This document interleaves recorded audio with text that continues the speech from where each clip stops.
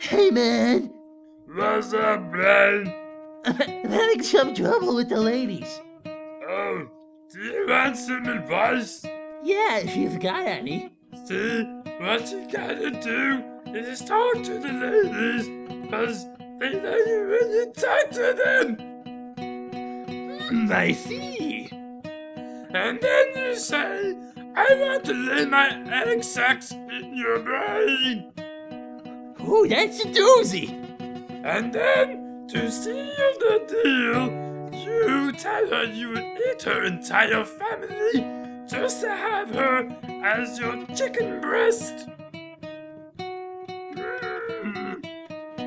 Why, thanks, man. But I'm sorry for what I'm about to do to you.